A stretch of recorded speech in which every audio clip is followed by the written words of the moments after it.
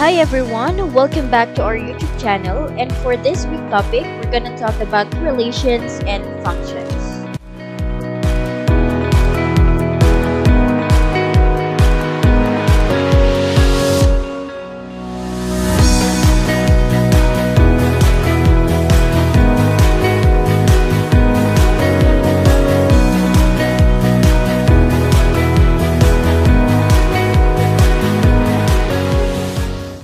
After going through this lesson, you are expected to illustrates a relation and function, verifies if the given relation is a function, determines dependent and independent variables. To further understand, I have here the definition. Set is a well-defined collection of objects. Examples. A set of colors.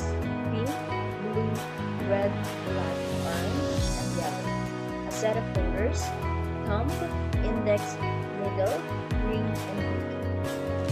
A set of numbers, negative 4, negative 3, 0, 2, and 4. A relation is a set of ordered pairs. And always remember class that the domain is the set of all x values in the relation.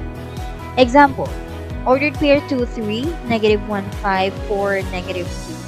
9 and 9, 0 and negative 6. So this is a relation because this is a set of ordered pairs, right? And the domains are 2, negative 1, 4, 9, and 0. Or negative 1, 0, 2, 4, and 9. So these are the x values written in a set from smallest to largest. Alright? While the range is the set of all y values in the relation. Example, in this given ordered pair, we all know that this is a relation because again, this is a set of ordered pairs, right? And 3, 5, negative 2, 9, and negative 6 are the range. Alright, and these are the y values written in a set from smallest to largest. Negative 6, negative 2, 3, 5 and 9. Another example, so I have here a set of ordered pairs. So we all know that this is a relation. So how about the domain and the range? So alam natin na ang domain is the set of all x values. So we have here negative 1, 0, 1, 2, and 3. How about the range? So the range is the set of all y values. So 3, 1, negative 1, negative 3, and negative 5. So, let's arrange it into ascending order. So, ang domain natin, negative 1, 0, 1, 2, and 3.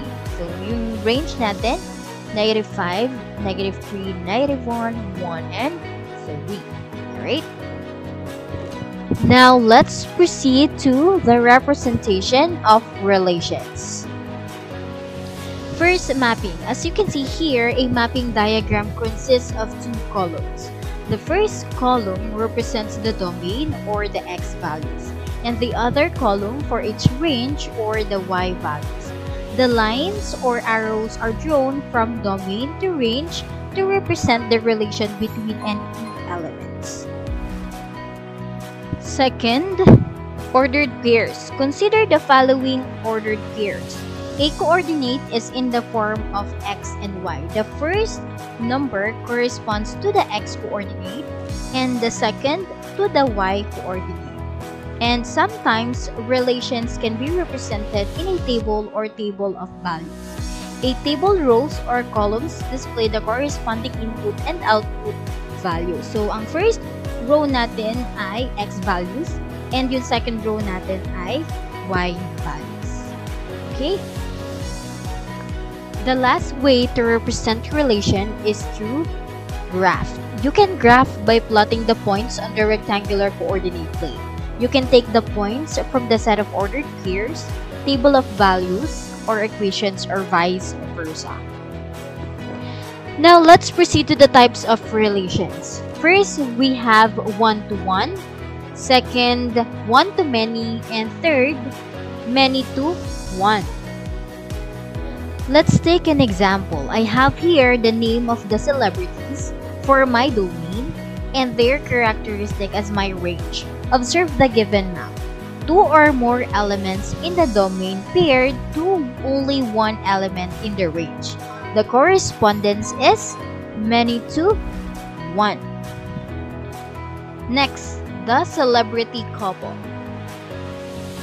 So every element in the domain is paired only one element in the range. So the correspondence is 1 to 1. And for our last example, so this is the domain which is the name of the group and this is my range which is the name of the members.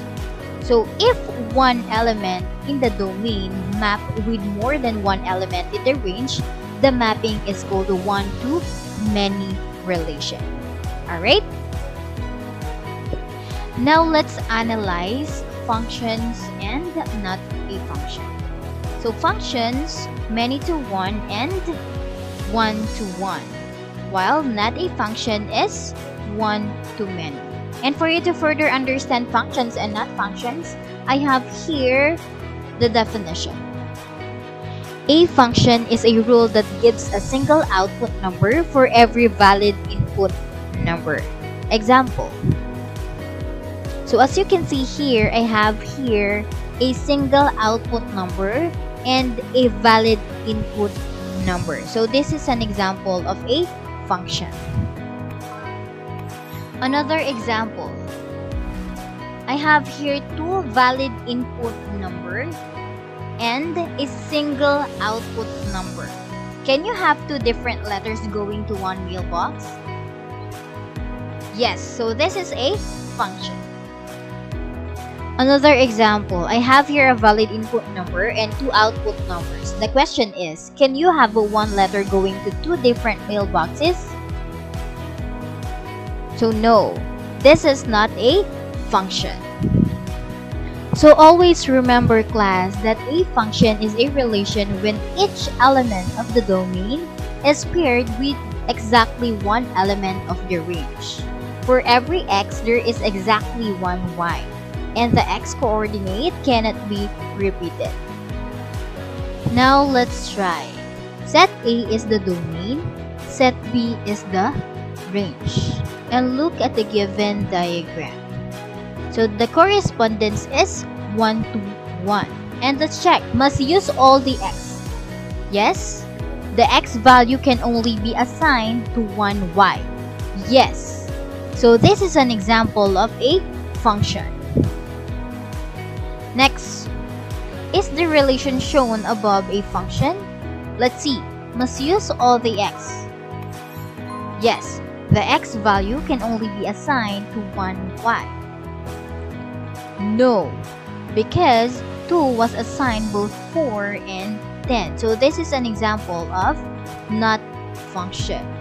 And also, the correspondence is 1 to many. Another practice. Observe the given diagram. Must use all the x? Yes. The x value can only be assigned to one y. Yes, and also the correspondence is many to 1. So this is an example of a function. In our previous discussion, we can easily determine a function or not by looking at the ordered pairs or table of values. But how about for the graphs? So we can use vertical line test or pencil test. If any vertical line passes through more than one point of the graph, then that relation is not a function. Are these functions? So I have here three graphs. And now let's draw a vertical line test. So in our first graph, there is only one point of intersection between the graph and the vertical line. So this is an example of a function. How about the second graph? So the vertical line intersects the graph at exactly one point. So the graph is a function. Third, the vertical line intersects the circle in two points. So I have here one point and one point here. The same with the other line. Point here and then another point here. So the graph is not a function. Always remember if you draw a vertical line to the graph and intersects the graph in two or more points, then the graph is not a graph of a function. Alright? Now let's move on to dependent and independent variables. Dependent variable is a mathematical variable whose value is determined by that of one or more other variables in a function. It depends on the independent variable. While independent variable is a mathematical variable that is independent on the other variables in an expression or function, and whose value determines one or more of the values of the other variables. It controls the dependent variable. Remember, the variable x is considered the independent variable because any value could be assigned to it. However, the variable y is the dependent variable because its value depends on the value of x. Example, cost of chicken and its weight. Cost of chicken is the dependent variable and its weight is independent variable. Second example, income of a worker and number of hours of work. Income of a worker is the dependent variable and number of hours of work independent variable. Last example, perimeter of a square and its side. Perimeter of square is the dependent variable its side independent variable.